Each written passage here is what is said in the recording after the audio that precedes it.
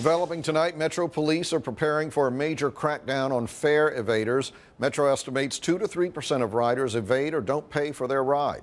The reason for the crackdown is not about a lack of revenue, but it's more about assault on Metro employees. Matt Ackland is live at the Tenleytown Metro station with more. Matt.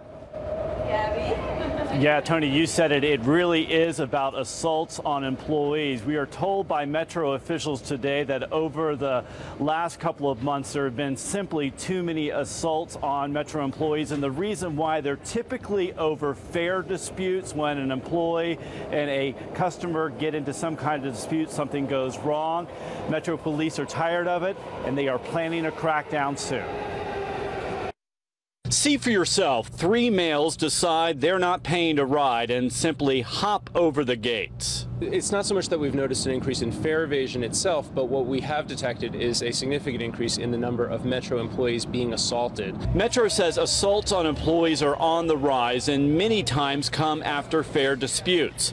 A station manager was stabbed by a rider at the Stadium Armory stop recently when the passenger wanted to enter without paying. What the station manager said was if you're coming into the station, you need to process your fare card. And at that point, it was an altercation that escalated to physical and ended with him being stabbed. Metro is not waiting until May to arrest offenders. This is video as Metro police stopped what we are told was a frequent offender who would often piggyback behind other riders to gain access. We take these very seriously. We've heard our employees. We want to make sure that they're safe at work, um, and that's why we're doing this.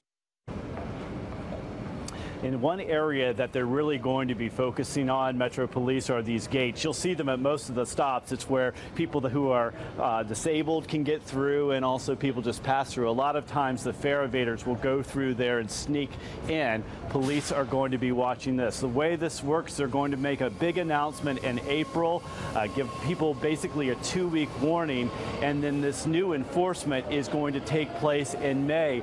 And Tony, they're talking about not only handing out tickets, if these are repeat offenders.